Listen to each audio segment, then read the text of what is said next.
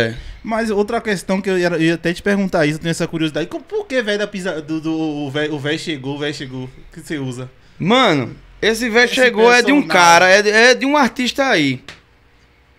Eu não vou mentir, pra que, que eu vou mentir? Mas quando eu botei, eu botei sem maldade alguma.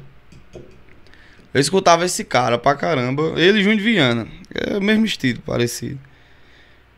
Aí. Passou, não lembrava nem como é que a banda existia. Que. Aí. Eu, quando inventei o, o personagem.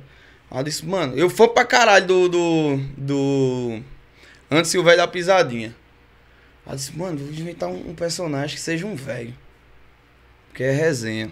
Porque era porque ele faz a zoeira mesmo. Eu disse, porque é resenha, então eu vou fazer um velho. Mas não posso botar velho da pisadinha ou nem velho do piseiro, porque tem um velho da pisadinha. Não tem como. Aí disse, "Pô, eu vou botar um nome aí de velho. Aí, o nome mais comum no Nordeste de idoso é Bill. Aí fui e botei Bill do Piseiro. E o lance do velho chegou, mano, foi automático. Eu fui gravar. Quando deu a virada, eu saí, fui falando besteira. Aleatórios alô. É que eu- não sei se você quer tocar nesse assunto, que eu vi mesmo que. eu acho que é Paulo Júnior. É, né? ele Paulo mesmo. Júnior. Então ele acabou falando sobre isso, que esse bordão era dele e tal. Sim, mas era, mas acho que. O bordão é dele. O bordão e a marca, né? Que na marca dele tá. Paulo Júnior, o véi chegou. Eu usei o véi chegou, só falei, né? Se for assim. É, mano, os caras. Você falar uma coisa aqui, ou um artista grande falar um bordão, todo mundo vai falar. Tá entendendo? Chama na bota, quem dá de quem dá, todo mundo fala chama na bota. Eu sei que não foi eu que inventei. Você- E quem eu vi falando isso não era nem cantor. A galera que ficava zoando nos grupos do WhatsApp. Chama na bota, não sei o que, vai ter forró não sei aonde. Chama, o nome o Chama na Bota, quem, você- quem você viu prim- primeiro assim dentro, do- dentro do Piseiro usando? Você lembra não, né? Não, Foi muita, muita gente, né? não, é incerto, não sei não. Mas você não, não, não ficou com medo de tipo de, de rolar qualquer tipo de confusão com você e com o Paulo Júnior pra você ter usado esse bordão? Porque tipo, você colocou no repertório ao vivo, o negócio a galera gostou na sua voz, assim, tipo, que o cara não tem culpa, né? É, velho. E tipo assim, o cara quando cria, você não, eu não vou chegar aí, vou, vou fazer isso aqui, vou estourar e vou tocar no Brasil inteiro. Ninguém faz isso não, mano. E se fizer, vai quebrar a cara. É verdade, velho. E a mesma coisa, é, é uma questão muito difícil nessa essa questão de, de, de briga entre essas por bordões. Porque, por exemplo, o cara lá cria um ritmo. Todo- se tá dando certo, Mano, todo mundo ó. vai criar. Todo mundo vai cantar.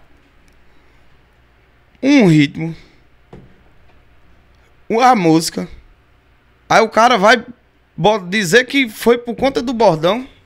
É, no bordão é ajuda, mas a, a- você tem que ter música, velho. É, É, é um conjunto de fatores que faz a coisa acontecer. verdade. Se os caras quiserem, podem usar aí meus bordão aí, as tortas e as esquerdas aí.